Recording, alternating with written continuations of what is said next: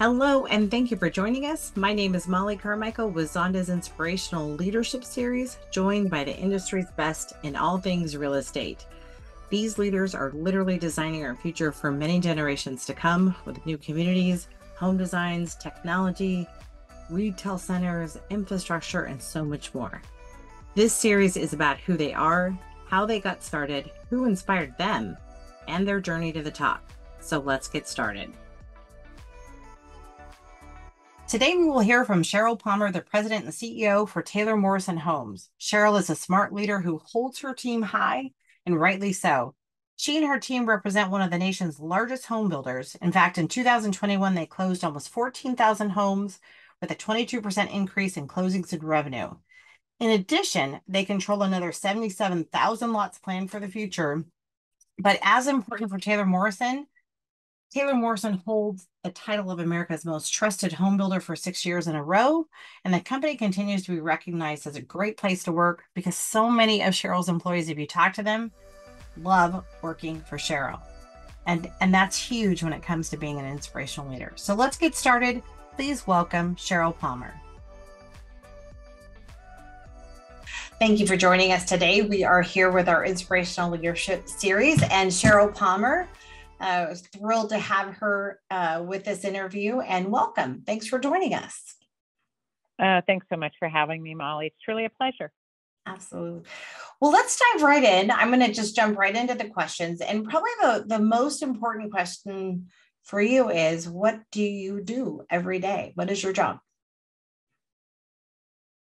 It's such a fascinating question because, you know, I've been in this role for 15 years now and wow. the world changes. Yeah. That's crazy. That crazy.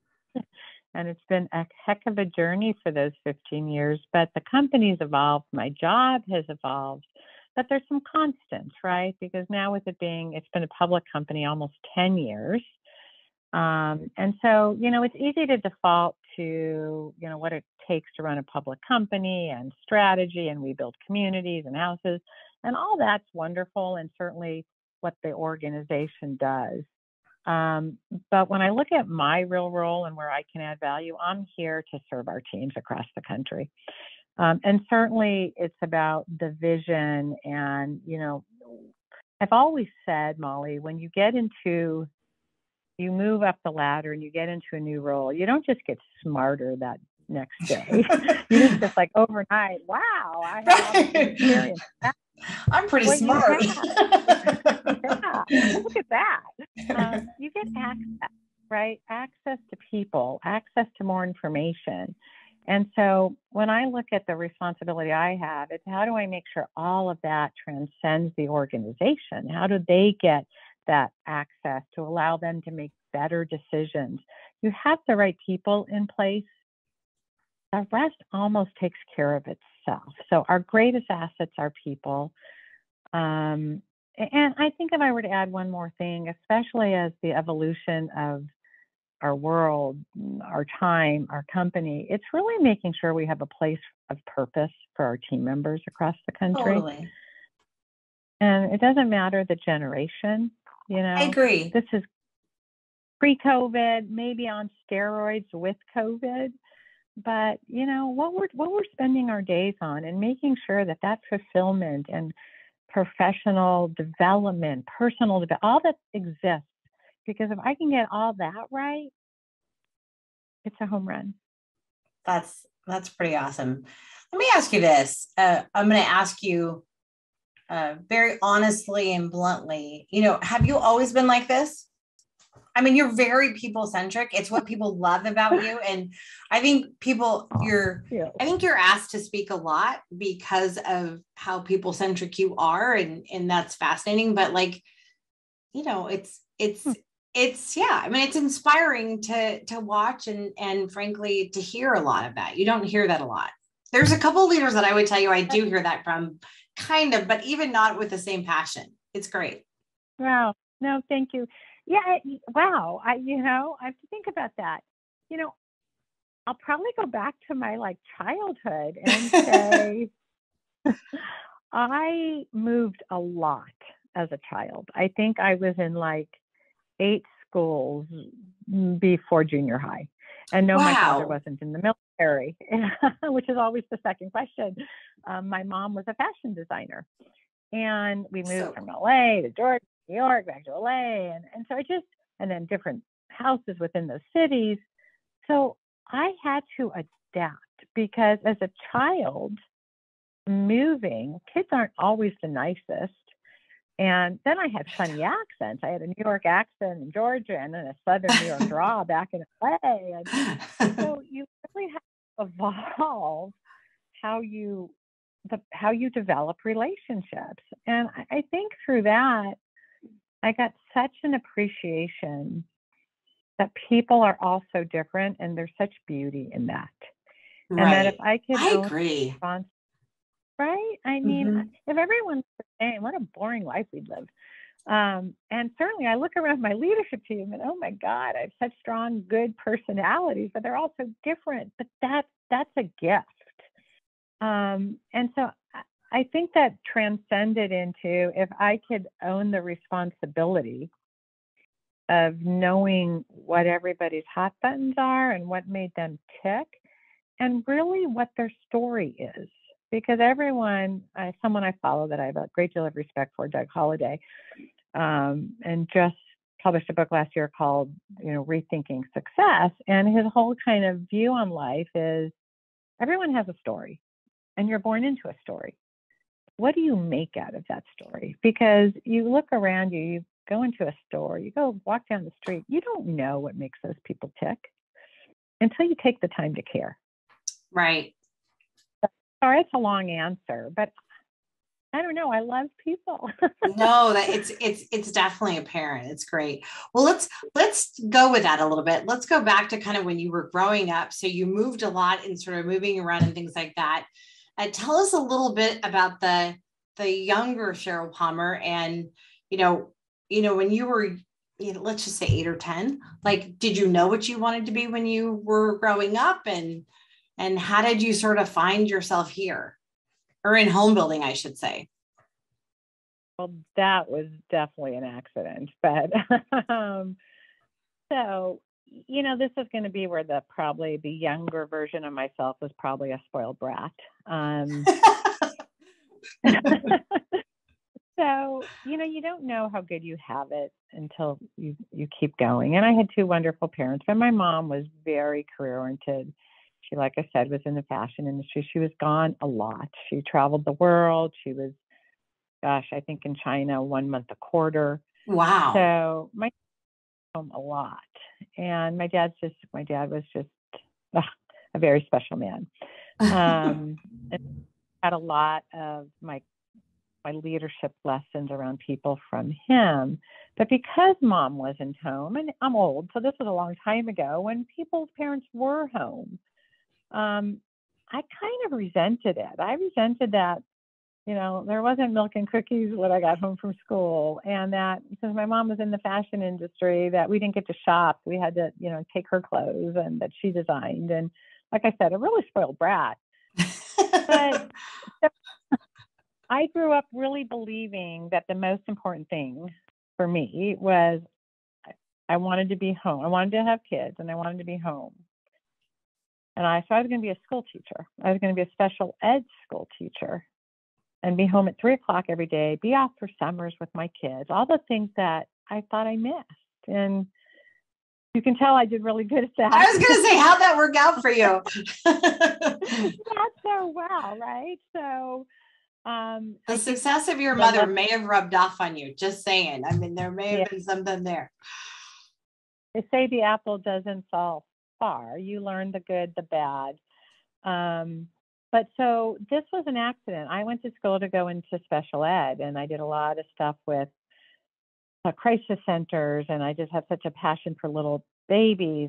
At the end of the day, I don't know if I could have done it because it broke my heart too. Right. Um, and then I started working for McDonald's and then I was in marketing and then I was at an agency and then I had a home builder. It's a very long story as one of my accounts.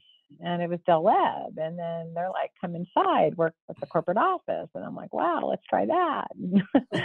and then it just, you know, Mollie, home building that's in your blood. Left the uh, marketing side of home building and went into the operations and sales management and everything else. And God, once I did that, oh my gosh, the passion that this was creating that vision and building communities where people could raise families. Never look back. It's yeah, it is a little contagious, right? I mean, you it's mm. it's hard not to fall in love with it. Well, and when you really think about it, you're designing probably the most important hub of everyone's life, which is their home. I mean, what bigger place can you make a difference if people matter to you, right? So it's pretty compelling. It, it's it's remarkable. And my stupid 30 second story that I'll tell that just, you know, when you sit around the table at Christmas time, you're telling stories about when you grew up, as you know, the older version, and you have all those memories. You know, my daughter now has one of my daughters now has two children, and I think about her best friend.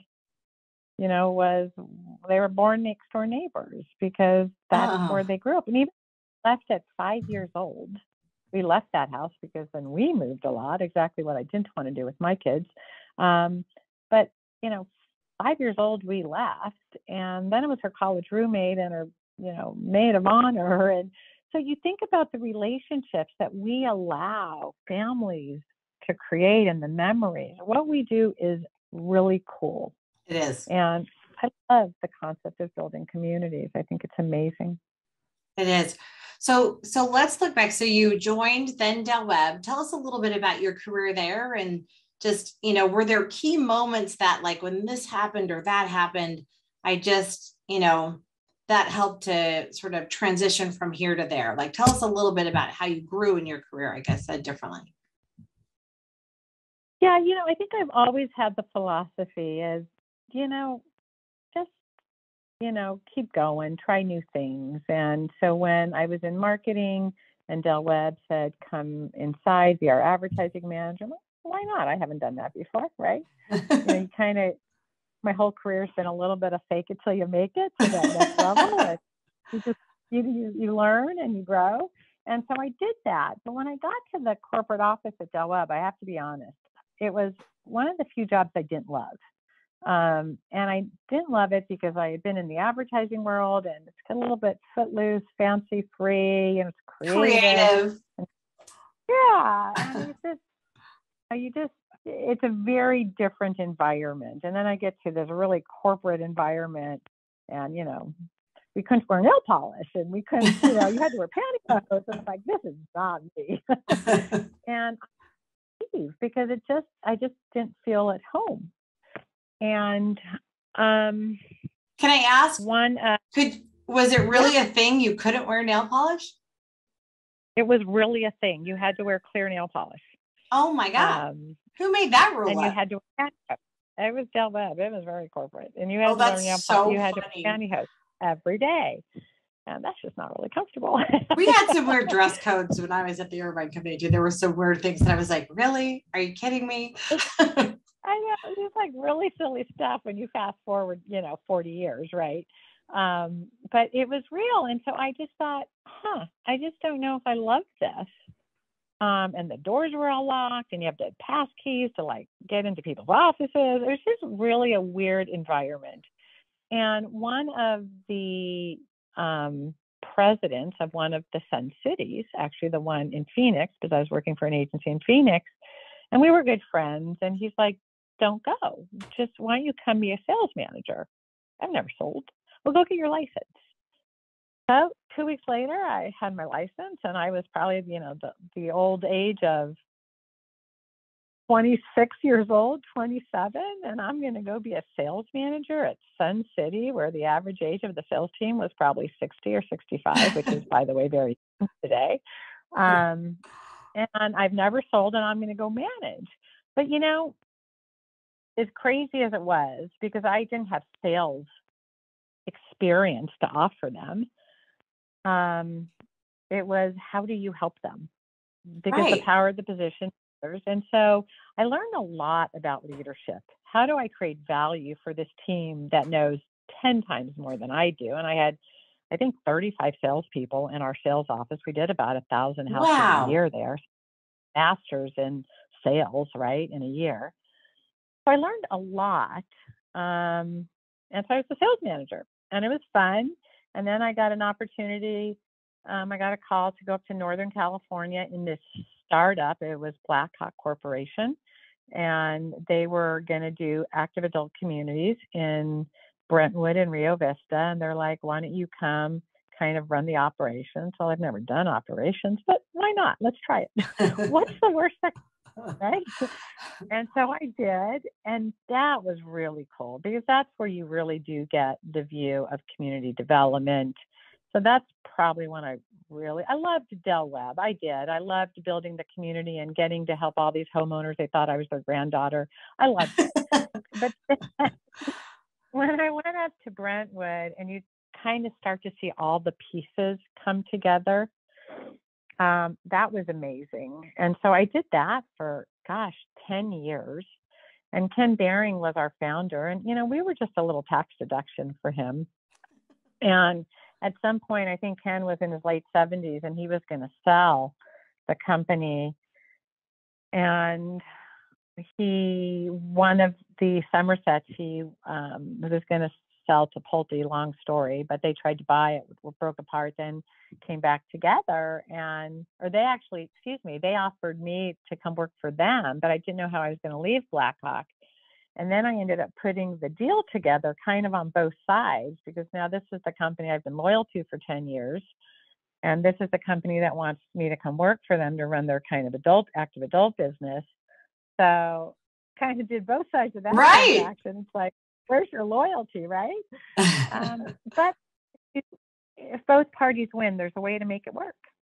And we got the deal done. We waited till the closing, and then I left and I moved back to Arizona and I worked for Pulte running their active adult. And then eventually I got asked to go to Nevada and be the area president for Nevada.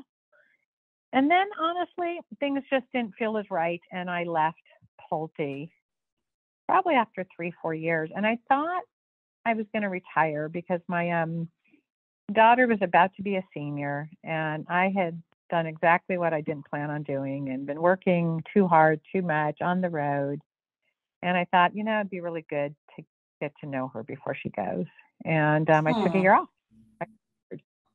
Nice. And um, it was really, it was really spectacular, actually. Um, and after about a year, my husband's like, "Don't you think you should go back to work?" right. um, Aren't you ready?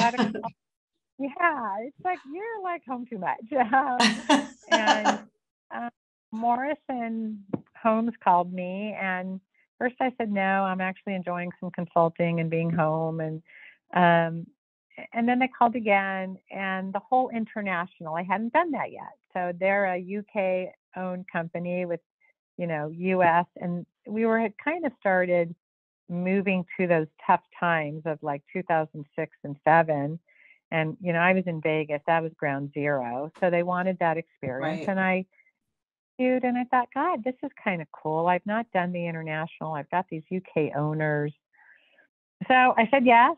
I went to work as like I think their Western regional president, and I think the next day after I started um, discussions, I heard this rumor that they were thinking about merging these two companies, Taylor Woodrow and Morrison Homes. And six months later, that came together. And then 30 days later, I got asked to be the CEO. And that was back in 2007. Wow. Um, so you yeah. join you join Morrison, and a week later, they asked you to be the CEO. Tell us how that went. No. The week later, I heard that these two companies oh, gotcha. were there was a negotiated, but that takes a long time. Sure. So we started in the summer of 06. The deal closed in literally the late spring, early summer of 07. And then a month after the closing, because now that my new I had a new boss, you know, everything was changing um, that's when I got asked to be the CEO. And, you know, here it was, I'm a regional president. I'm now going to be a CEO of this for public UK company with a private US North American business because now we had Canada. And I didn't know what it meant to be a CEO. You're like, um, hmm. here we go again. Um, and you know, it was 2007. You know, you would almost say the like the bottom, but you know something, we needed each other to survive. Both these companies did, and my boss in the UK was amazing, and he was actually relatively new as the CEO of the whole group. Um, and then probably six months later, I got asked to join the UK board. So the next, you know, gosh, seven years I spent on the UK board. What an amazing experience that was. Um, then we sold to private equity because as we were coming through the downturn, the UK, the city, they call like the street that we have, the city in the UK really felt they needed to focus their attention on a UK business and the North American business was a distraction. So they sold us to private equity. So here we go again. I'd heard all about private equity, but I had never done private equity. And that took me from 2011. Um, then they, we took took the company public in 13. They sold all their interest in 2017. So we've been fully floated since then. So it's been 15 years, but I feel like I've worked for a private sub, public, a private equity, a partially floated public, and then fully floated public. So it's been, I couldn't have written this, I couldn't have imagined this script 10 years ago. That's amazing. Let me ask you this when you look back at your career, and in, in every case, I, I loved your phrase. Um, I just thought about how I could help, right? I mean, I mean, I think that's that's how I like to approach what I do too. Is is at the end of the day, you're never selling. You're just figuring out how you can help people, right? And so when you look back at sort of the key ingredients, what do you think led to the constant promotion and saying, "Hey, we're going to give this person a try," and I think they could do this even though they've never done, let's say, the sales manager or advertising. In every case, you were given these new opportunities and in, new venues. What would mm-hmm. you say mm-hmm. drove that? That's a great question. Um, you know, I think it goes back to the basics. I think, first of all, hard work. There isn't for sure cuts, right? Um, so even you know, you have to put in the time, and there's just hard work and there's real grit that goes in because each opportunity there's a lot to learn, right? Right. So I think that's. I think too. I always believed Mollie there's some things I'm good at. There's some things I've never been exposed to. I'm always going to make sure the people that I'm surrounded with are so much smarter and better than me. And, and I think that's a, I think that's a challenge for a lot of leaders. They feel like they have to have all the answers. I have so few of the answers. um, I have great talent around me, and so I think you know when you build relationships. I mean, I think back, and this is going to be sound so silly, but I think back to when I started at as the sales manager at Sun City. I didn't know how to read a floor plan. Okay, here I'm a sales manager and I had never bought a house yet. So how do I, I didn't even know how to read a floor plan. Crazy. Um, and, but it, it, it, was crazy. But the VP of construction was a nice guy. And, right. you know, before that, construction weren't supposed to talk to each other, right? That's not how it worked back in the 80s. And I didn't understand that. He's just a really nice guy. And so, guess what? We became friends, and he'd meet me at six in the morning to teach me how to read floor plans. It's like, Sheryl, this is a door, awesome. it swings, that dotted line. Yeah. I could teach him stuff about marketing or sales. And and the same with my finance VP. And so I just had probably this insatiable curiosity that just kept wanting to, you know, learn and then using that knowledge to help. And I think at the end of the day, there was just nothing I wasn't willing to tackle. Um, and just, you know, just a, a happy kind of go get it drive to get things done. And I think I think you touched on a lot of key points. You know, working hard, making sure people know that you're going to do everything it takes, right? And and we are all better based on the people we have around us, right? So just mm-hmm. having those people there to support you and the confidence, and it's truly confidence to ask what you don't know to the people who do know is a big deal, right? I mean, that's that's really confidence key. And humility, right? Right, exactly. To be okay with not being the smartest person in the room and knowing that i mean gosh can you imagine when we start learn when we stop learning from others what a boring world that would be. so, um, so, so yeah, I think, but I think that's hard for some people. I really do. I do too, actually. No, I do too. Well, looking back at this amazing career, is there, do you have any sort of like do overs that you'd like to do over? You know, um, I don't know if I should go here, but I think women generally lack confidence. And I think we try to make up for that by working extra hard and sure. feeling like we have to do it all. And, you know, we have to be the first person in and we have to be the last one to go home. And we can't ask to go take our daughter to a soccer game or something like that, right? Um, and so I think I, I wish I had figured out balance better. I mean, that would have been my do over is you don't have to work 24 7 you have to work hard um, but i think i had i wish i would have balanced life a little better because you know there are trade-offs for the success i've had and i don't know that you have to do it that way it's it's really so that funny would have been one. I think that's probably the biggest struggle of all working women is figuring out how to balance that. I don't think you're alone there. I'm sure your mom was the same way and probably struggled with that very same issue. Oh, that makes me teary. it is a full circle. So I wish, but when I look at my career trajectory, I don't think I would have changed a thing because every opportunity I had the most amazing experiences. I mean, I worked for Ray Kroc in McDonald's. He was in the same office. Oh, that's a, that's amazing. Oh my gosh. I mean, I did his birthday party at Padre Stadium, you know, his 80th birthday party. I, mean, I just had the most amazing opportunities. I went trade. I got, you know, being on the UK board and learning that culture. I just went trade one of them, Mollie. That's that's pretty awesome. That's pretty great. Hmm. One characteristic about Ray Kroc that you loved. Oh man.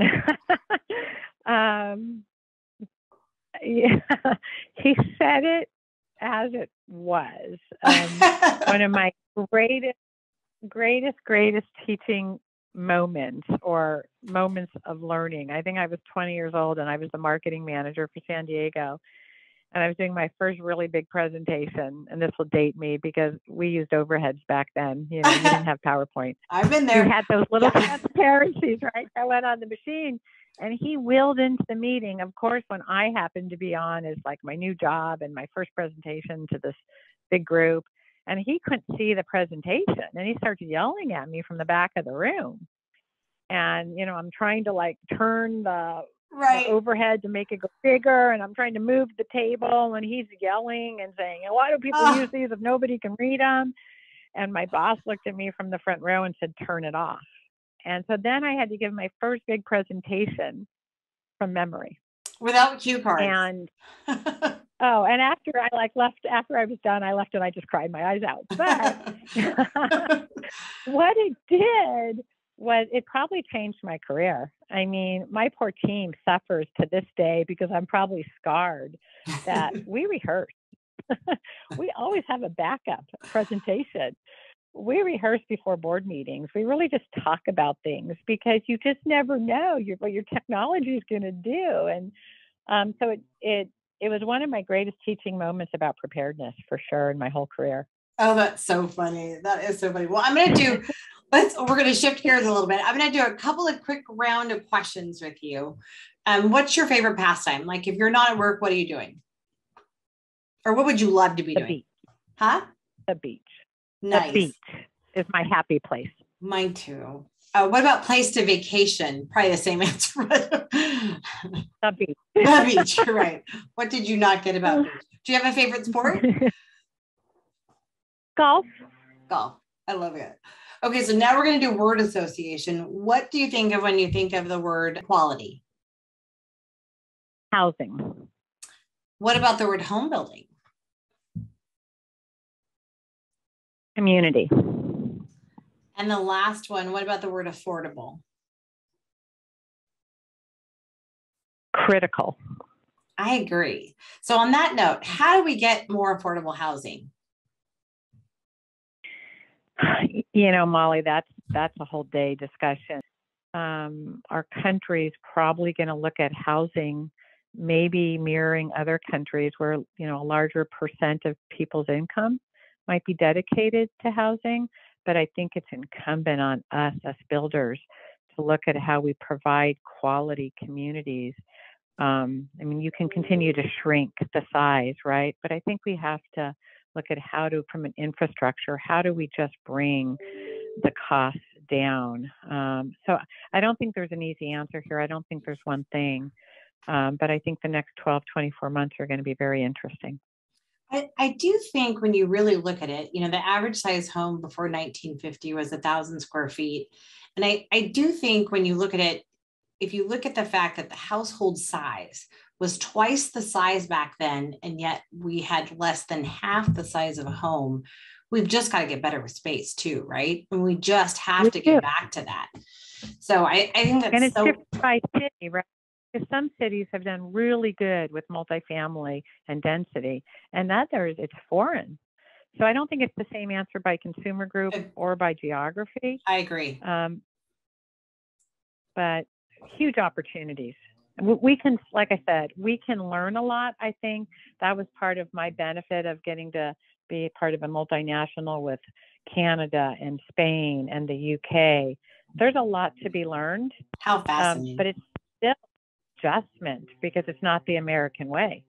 I actually love to study density and floor plans in some of the outer countries because frankly they've they've been forced to work with smaller uh, like Japan and some of those. It's it's really incredible.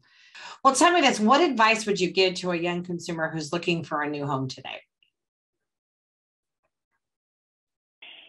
Um, you know, I think the last 12 months of buying a house has been the most frustrating experience for a consumer than I ever recall. And honestly, I'm sure consumers think, you know, the big bag, the builders have just, you know, been raising prices. It's been hard for us too um, not being able to meet the demand of consumers, um, not being able to be 100% confident on when that house is going to get built.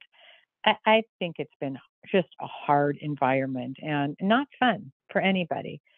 Um, so today, you know, I, I think, I, I do think we're going to see, I hope we're going to see some normalcy with the actions of the Fed and the level of appreciation we've had, and things are going to, you know, I don't know exactly what normal means, but I think we are going to see some level of normalization. And so I just think the consumer really has to, it's the time to kind of take a real look, do your homework, lots, ask lots of questions, certainly about understand the supply characteristics um, within you know the area that you want to buy really understand the speed of price movement that happened um, you know, the frenzy is not always the best thing to follow, but it's kind of what people do. But I think it's a good time to kind of survey the environment and understand. I, I do think, you know, housing in the mid, I think it's going to stay strong for years to come because of all the things we've talked about around price movement and interest rates. We don't have a shelter in our right. We just don't. And so I, I believer that you know things continue to move on, but there's an adjustment um, that everyone and part of it is emotional, right? So I just think do your homework. It's a big investment. Feel really good about the builder, the quality, the community, that it's everything you want it to be, um, and then go with it. Go for it. Well, and and on that note, what makes Taylor Morrison's homes different? What do you think as you're out there looking? what do you really strive for in you know every home you know your team is building and and how are you guys trying to make a difference and are different out there in the the world of new homes? Yeah, I think it goes back to where we started community. You know, I see us as a community builder and home builder, and getting that sense of community right is so important. And, and that probably came to me through my Del Webb experience.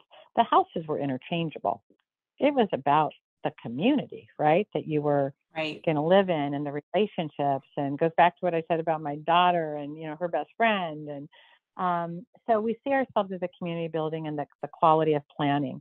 And, and, hey, I think COVID put that on steroids, Cam. Um, truly, I think about, um, you know, when I used to like drive communities during COVID, you would see like like all these chairs outside and kids playing and bikes and stuff that we kind of lost our way on mm-hmm. and truly sense of community right and so i think that is a big part of our difference where we start from looking at the land and how do we really create a community that people can be proud of because that's sustainable that protects their values all those good things um, and then how do we continue to, to stay one step ahead you know i look at our virtual environment Mollie and how have we try, really progressed and kind of meet the customer where they want to be and understand what their needs are. And the way we're selling houses today, I don't think we ever thought possible was two, three years ago.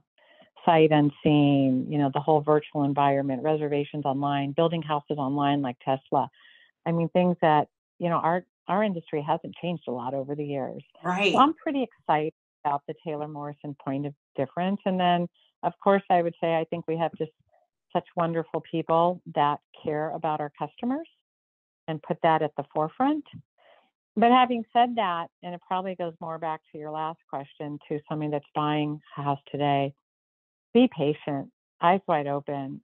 It's not as easy as it used to be. It's not as predictable, and recognize it's not an easy process, um, and that we just have to help them every step of the way. That's pretty awesome. No, I, I good answer. Great answer. Um, well, we're gonna wrap up, but I before we wrap up, I, I do want to ask you, as you were, you know, you've become this, you know, not only great leader, but inspiring leader, certainly through our industry. Tell me who some of the inspiring leaders have been in your life uh, and kind of the characteristics that made up or that were mentors for you. Wow. Um, you know, it's such a I hate to say it, it's such an interview question, but one I've always I've always struggled with because I I feel like I learn from so many different folks. I I learned from Ray Kroc. You know, I learned from Bill Pulte. I learned from my boss at Sun City who took me under his wing and really helped me. And then if I were to point to one, it's my dad. Um, because it was about I just watched him. I didn't know he was different in the way he engaged with people. And when I would go to work with him, and he was in retail, and the way he just made everyone feel so good and so comfortable. And he was just like this big ass teddy bear. Sorry. Aww. And, but, and just watch the way he genuinely cared. Um, and how the in, the impact that had on the people around him. So I think he probably inspired me more than anyone. That's pretty awesome. Well, Sheryl, I think that is it. Um, I just can't thank you enough for your time. And I know you're super busy. So it was great to have a chat with you uh, and just hear about your career and what you're doing and keep doing what you're doing. Um, and uh, yeah, can't thank you enough. thank you. And so good to see you. Thanks for being so patient for us to get this on the calendar and just great to see you. And great, thank you for all the great work you're doing for our industry because honestly, we need it so desperately. Things are moving at such a pace, and you, you, you are an inspiration to the industry as well. So thanks so much, Mollie. Thank you. No, I just like you, just work hard and keep trying. So that's right. That's all we can do every day, one day at a time. But take care of yourself, okay? Okay. Thank you again for joining us. This is Mollie Carmichael, and I hope you enjoyed this series. Please hit like if you like today's broadcast and subscribe if you'd like to hear more from the best and the brightest in our industry. Take care, everyone, and I hope you join us again next time.